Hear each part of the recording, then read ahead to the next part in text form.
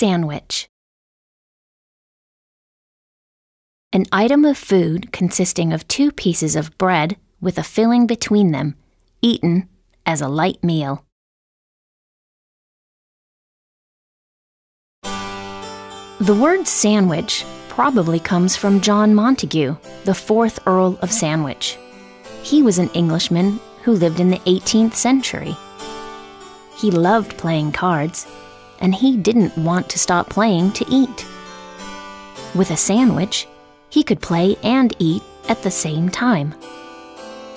But the sandwich did not become popular because of John Montagu.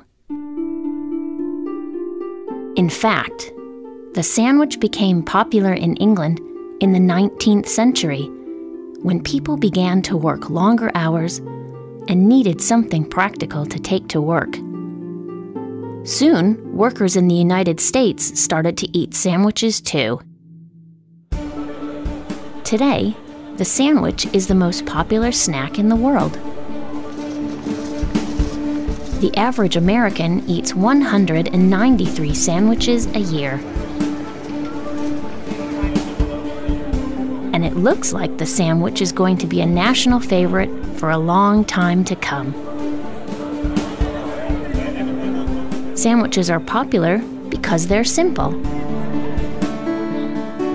All you need is some bread and some filling, like a slice of cheese and some meat. You don't have any cheese or meat? Don't worry. You can put anything in a sandwich. This is Eastern District, a sandwich shop in Brooklyn, New York. Here, you can buy cheese, meat, snacks, chips, and sandwiches. A lot of sandwiches. Lunchtime is the busiest time of the day in Eastern District. Lots of people buy sandwiches when they're at work.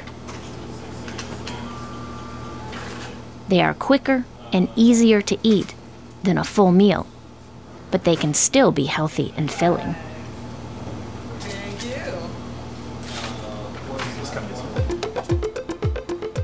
Eastern District is always thinking of ways to make their sandwiches tastier and more interesting.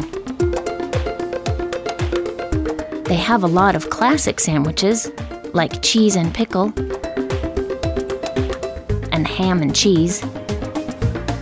But they have some more unusual sandwiches too. Soon they're going to introduce a salmon, goat cheese, and onion sandwich. Delicious. So, how many sandwiches do you sell a day? We sell about, on a good day, we sell 50 sandwiches. How much do people spend on their lunch? On average, people spend about $10 for lunch. Which sandwiches are the most popular? Our most popular sandwich is the ham and cheddar with mustard. What's your favorite sandwich? Let me decide here. Okay, my personal favorite sandwich is the prosciutto with ricotta cheese and olives and fresh greens. The sandwich has changed a lot since John Montagu's time,